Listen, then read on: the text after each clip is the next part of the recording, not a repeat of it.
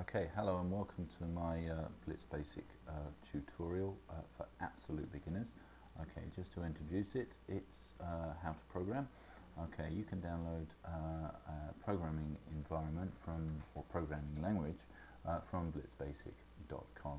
That is the website and you will be able to download an evaluation version which I recommend, which is Blitz Plus.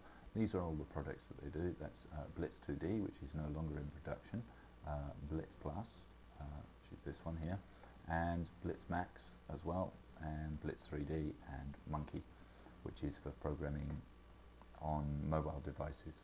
Okay, so um, the ones I'm concerned with are Blitz Plus and Blitz 2D for the absolute beginners. I'm actually going to be using Blitz 2D to start with. Um, there are separate reasons for this, just so you can see the difference and why. Um, and it also makes it a little bit simpler in certain circumstances. So go to blitzbasic.com, download yourself uh, Blitz Plus. I'll be using Blitz 2D, but uh, color codes might be slightly different, but uh, it shouldn't really matter. Uh, it's essentially they're mutually compatible anyway. Um, okay, so let's get started. Um, you, once you install it, download and install it, it will be here, here, Blitz Basic.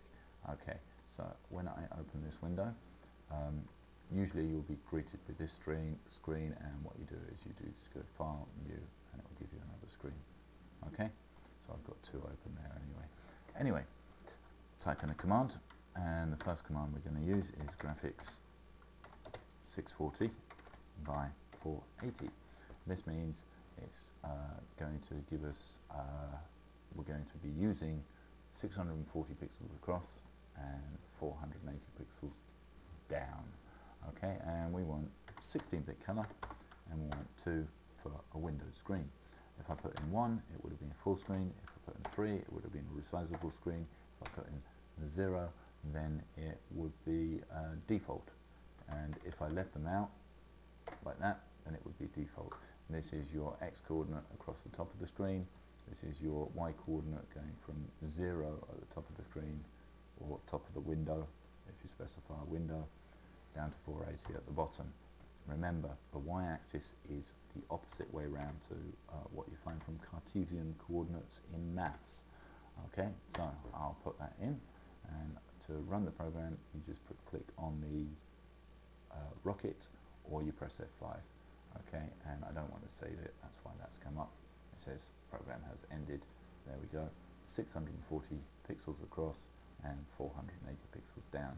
Sorry, down. But uh, in maths, remember, it is 640 across and 0 to 480. It's the other way around in mathematics. Okay, so just be aware of that. The x-axis is the same for maths, but the y-axis is the other way around. Uh, so it goes from 0 here to 480 here. Kind of important. okay, and I just click OK. Um, okay, so it's come out with a graphics 640 by 480 and it's 16-bit and it's a window, a non-resizable window. Okay, so let's use the command print and print uh, hello world. Okay, very simple. Okay, so it's going to print whatever in there. I could put anything in there I want and it's going to print hello world. Okay, and see, print hello world. Okay, program has ended. Okay, okay. So let's go back. Um, oh, um. Okay, ready. Um, so if I type in a command called locate, which um, is not actually on uh, Blitz Plus. Blitz Plus actually specifies them as parameters here. But uh, anyway, we're going to use this one, 3, uh, 320 across uh, by 240. Okay, so that will locate it just to demonstrate coordinates uh, in the middle of the screen. If I move that out of the way, you'll see, see that's uh, 320 across and 240 down from 0 to 240 and that's that mm, that top left hand corner that it specified it at. Okay, but I don't want that box at the end so I'm going to tell the program to end. Okay, so now when I run it, it will end. it came up very, very quickly. So it ended the program, printed it, and then it finished the program. I want it uh, to not end the program until I press a key. So I'm going to put in wait key. Okay, so you can see it turns to yellow, so it's a command in Blitz 2D. Okay, so when I run it now, it will wait until I press a key, and I press a key, and I'm done. Okay, I still haven't saved it because it says untitled at the top. I'm not going to save it yet. Uh, we're going to do uh, something else uh, to start with. Okay, so I'm going to get rid of that. I don't need that anymore, and we're not going to use that, and we're not going to use that either. Okay. Oh, actually, we should put wait key in there just in case uh, it ends. Okay, I'm going to create uh, some coordinates, and I just put x as a variable that I want to use, and x I'm going to specify as 0, and y I'm going to specify as halfway down the screen. Remember, naught's at the top, and it increases as it goes down the screen, y equals 240. Now, um, uh, that specifies the position here. So when I run the program, well, nothing will happen, but it's uh, x. It now knows that x and the y coordinate is here. So what I'm going to do is I'm going to draw an image there. But first we have to load the image, okay? And we have to give it a variable name. So it's going to come up in white in Blitz, Blitz 2D. And so I go img underscore uh, star. I'll call it star. I could call it anything I want. I don't even have to put the img in front. Just a variable name. You can call it monkey, banana, whatever you want to call it.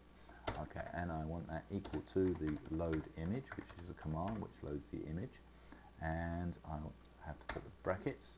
Okay, you see it's a command there. And I can go star. Okay, and it's going to be a bitmap image. Important to specify what type of image it is and I close the brackets. Okay, so I've loaded the image into the computer's memory. Now if I run the program, you'll notice nothing happens. That's because I haven't drawn the image to the screen. Okay, so if I do draw image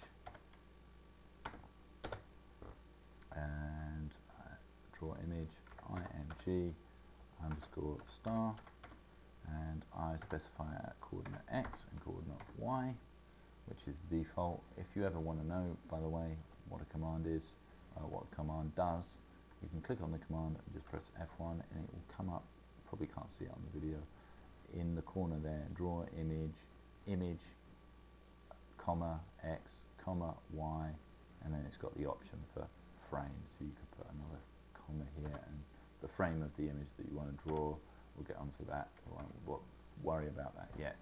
So draw image, image star. Now uh, run the program and it will come up with illegal memory address, which means that you've specified an address somewhere in here that it doesn't recognize. Okay, it recognizes this one, it recognizes this one, it recognizes this, it recognizes this. This is because we haven't yet drawn star.bmp. So, easiest uh, paint editing program is Paint. Okay, so we want to draw a star and image. I'm going to choose attributes and I specified it as 5 by 5. Okay, so it's very, very small. It's 5 pixels across by 5 pixels down. Okay, and if I go view, zoom, uh, custom, 800, uh, I could zoom in. Now, the background color or the mask color as it's called, that's the color that shows up transparent to Blitz Basic, is actually in black. So anything that's black is not going to show up. You can change this to another color if you want to, but we'll leave that for another time. Okay, so you can just uh, grab a pen and just draw a star. I'm just going to draw a very simple white star. Clickety click. Okay, and maybe I want something like this. Looks more like a cross. Okay, there's my starish. I'll just have diagonals going out like this. Remember the rest of the screen is black, so it'll probably look like more like a star when it's printed on the screen, um, or drawn to the screen rather. A file, save as, and I need to save it in the same directory. Uh, for the moment, I'm going to call it on the desktop, and I'm going to call it star.bmp um, sorry, star, star.bmp, there it is. Okay, I'll just save, save all of this. Okay, as, okay, yep, okay, so now I've got my star, and now I run my program, and press cancel, still illegal memory address. Why is this? Okay, we have to save the program to the same directory. Okay, and for the moment that is the desktop, so I'm going to call this program star. Okay, and I save it to the desktop. Okay, I'll overwrite that one.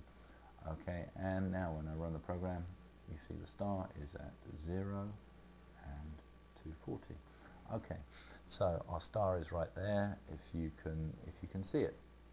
Okay, so that concludes the very first tutorial of how to write a computer game. That is going to be our star for our computer game. Okay, if you've got any questions, leave it in the comments, etc., etc. There are quite a few now uh, Blitz Basic tutorials on the on the internet, so have a good look at them as well. If you don't really understand what I'm talking about, um, or just ask in the comments, and uh, I will see you next tutorial. Okay, thank you very much. Bye bye.